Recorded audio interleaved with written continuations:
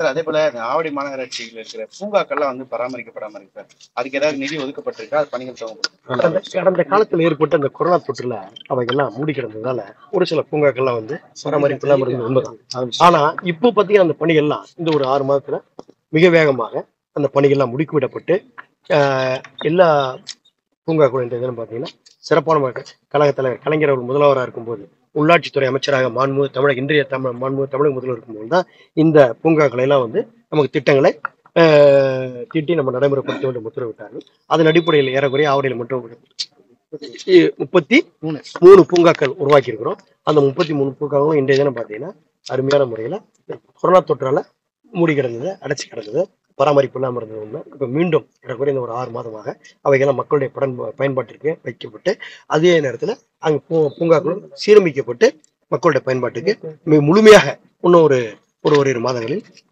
முழுவீச்சோடு அவர்கள் பயன்பாட்டை கொண்டு வரும் சார் நேத்து வந்து தமிழக முதல்வர் ஸ்டாலின் வந்து அஹ், திமுக தலைவராக வந்து பொறுப்பேற்று ரெண்டாவது வாட்டி போட்டியிட்டு தேர்வு இப்போ தமிழிசை சவுந்தரராஜன் தெலுங்கானா ஆளுநர் என்ன சொல்லியிருக்காங்கன்னா அண்ணன் வந்து தலைவர் தங்கச்சி துணை பொதுச் செயலாளர்.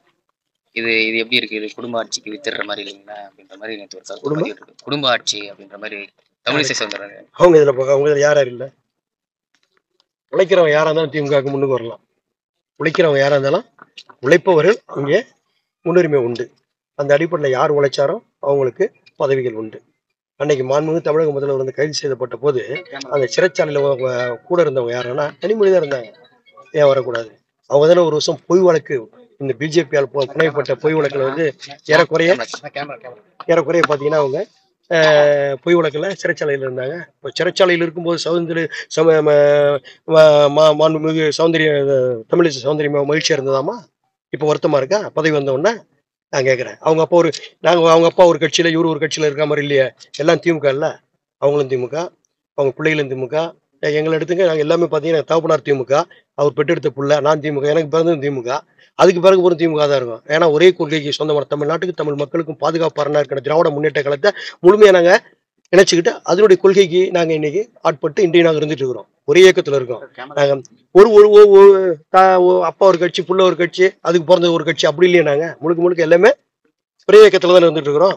அப்படிங்கிறப்போ அன்னைக்கு தலைவருக்கு ஒரு பாதுகா ஒரு ஆபத்து வந்து யார் இருந்தா கூட பொய் வழக்கு போட்டாங்க.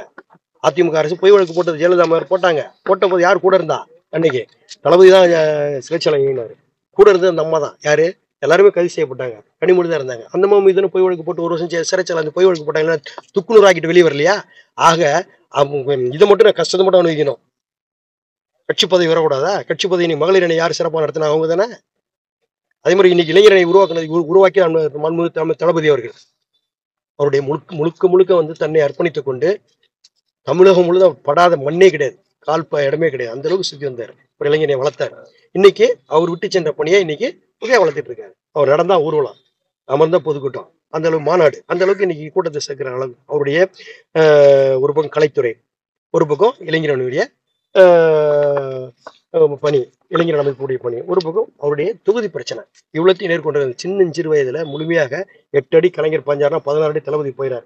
தளபதி பதினாறு அடி பாஞ்சா நீ முப்பத்தி ரெண்டு பாயக்கூடிய அளவு தான் இன்னைக்கு உதயம் இருந்து கொண்டிருக்கின்றார். அப்படி இருக்கப்போ நீங்க சொல்ற மாதிரி உதய அவங்க சொல்றாங்களே தமிழிசை சவுந்தரராஜா அது மாதிரி கிடையாது. நாங்க பல கொள்கைக்கு சொந்தக்காரங்க ஒரே ஒத்த கொள்கைக்கு சொந்தக்காரங்க நாங்க. சரியா?